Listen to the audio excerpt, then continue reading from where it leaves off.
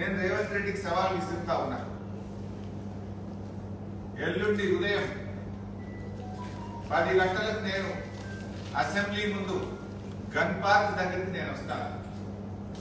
Assembly ముందు తెలంగాణ అమరవీరుల స్థూపానికి నేను వస్తాను. మీరు కూడా రండి మనం ఇద్దరం అమరవీరుల సాక్షిగా ప్రమాణం చేద్దాం. ఆగస్టు పదిహేనో తేదీలోగా రెండు లక్షల రుణమాఫీ మీరు బాండ్ పేపర్ల మీద రాసిచ్చి సోనియా గాంధీ గారు లేఖ రాసి రాహుల్ గాంధీ ప్రియాంక గాంధీ నువ్వు మీరందరూ ప్రజలకు వంద రోజుల్లో అమలు చేస్తామని చెప్పిన ఆరు గ్యారంటీలు పదమూడు హామీలు పంద్ర ఆగస్టులోగా అమలు చేస్తానని నువ్వు ప్రమాణం చేయి నేను కూడా ప్రమాణం చేస్తా. ఒకవేళ రేవంత్ రెడ్డి గారు పంద్ర ఆగస్టులోగా ఆరు గ్యారంటీలు నిజంగా అమలు చేస్తే నేను ఎమ్మెల్యే పదవికి అక్కడే రాజీనామా చేస్తాను. మళ్ళా ఎన్నికల్లో కూడా వచ్చే ఎన్నికల దాకా మళ్ళీ పోటీ కూడా చేయ ఉప ఎన్నికలు. అట్లీస్ట్ నాకు కూడా గుర్తుంటుంది. ఒక ఐదేళ్ళు ఎమ్మెల్యే ఉన్న దానికంటే కూడా కోట్ల మంది ప్రజలకు రుణమాఫీ జరిగి ఆరు గ్యారెంటీలు అమలయ్యేటువంటి సంతృప్తి నాకు మిగులుతుంది. నా పదవి కంటే కూడా తెలంగాణ ప్రజలకు మేలు కావడంలో నాకు ఎంతో సంతోషం ఉంటుంది. ఆనందం ఉంటుంది నాకు. నేను పదవి కోసం నేను బాధలాడతలేదు నువ్వు చేయాలని కోరుకుంటున్నా.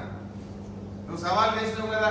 ఎస్ పోలాంపా గన్ దగ్గరికి అమరవీరుల స్థూపం ముందు ఏ అమరుడైతే తెలంగాణ ప్రజల కోసం త్యాగాలు చేసిందో ఆ అమరుల సాక్షిగా ప్రమాణం చేద్దాం.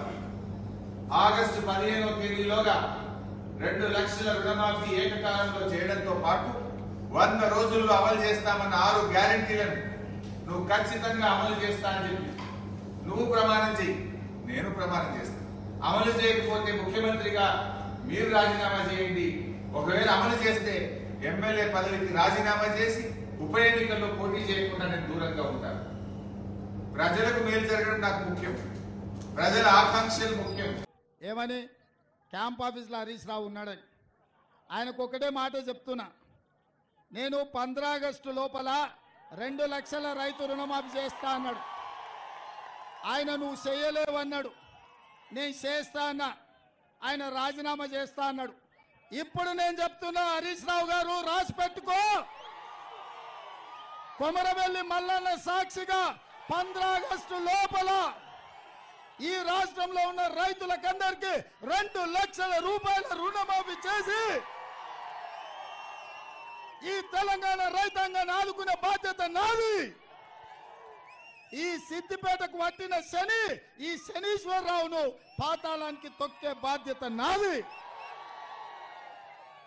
పంద్రా ఆగస్టు నాడు ఈ దేశానికి స్వాతంత్రం వచ్చింది. పంద్రా ఆగస్టు నాడు ఈ శనీశ్వరరావు నుంచి ఈ సిద్దిపేటకు కూడా స్వతంత్రం రాబోతుంది. పంద్రా ఆగస్టు నాడు తెలంగాణ రైతాంగానికి రుణాల నుంచి విముక్తి కలిగి బ్యాంకుల నుంచి స్వతంత్రం రాబోతుంది. అవునా? కాసుకో హరీష్ రావు! కాస్కో పంద్రా ఆగస్టు వరకు నీ ఆటలు నీ పప్పులు సిద్దిపేట గడ్డ మీద. మళ్ళా వస్తా సిద్దిపేటకు కొత్త ఎమ్మెల్యేను గెలిపిస్తా. నువ్వు రాసుకో. పంద్రా ఆగస్టు నాడు మీడియా మిత్రులారా రాసుకోండి రుణమాఫీ చేసి మళ్ళా ఇదే చౌరస్తాల పాత బస్ స్టాండ్ల సమావేశాన్ని పెడతా రైతులతోని. లక్ష మందితో ఇక్కడనే పెడతా. రెండు లక్షల రుణమాఫీ చేసి లక్ష మందితో ఇదే చౌరస్తలు మళ్ళీ సమావేశం పెడతా రైతు రుణమాఫీ చేసి. హరీష్ రావు రాజీనామా సిద్ధంగా రాసి పెట్టుకో. నీ లెక్క నీ పత్రం మొత్తం అంతా తేలుస్తా.